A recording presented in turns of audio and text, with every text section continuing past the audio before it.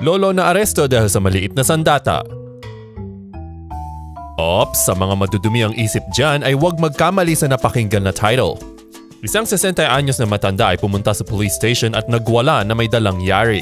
Ang yari ay isang hapon na sandata na mukhang sibat. Sinigaw ng matanda na naghahanap siya ng away at pinaghahampas-hampas niya ang sibat. Naresto ang matanda at nalaman ng mga pulis na siya ay lasing na lasing.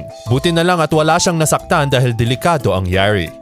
Sa mga kabayan natin sa Japan, minsan ang pinakaligtas at pinakamalinis na lugar ay nagiging delikado rin. Kaya ingat po tayo lagi.